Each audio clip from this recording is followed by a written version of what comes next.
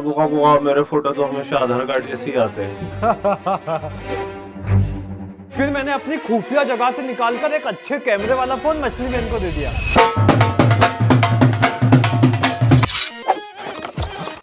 चल मछली मैन में इसके तीन 50 मेगापिक्सल के कैमरे से तेरे फ़ोटो खींच के बताता हूँ। और इसके जाइस स्टाइल से तो फ़ोटो बहुत मज़ेदार आते हैं।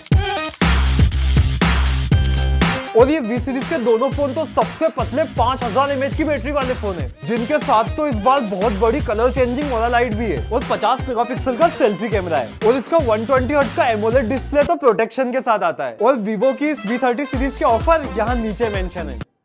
अरे।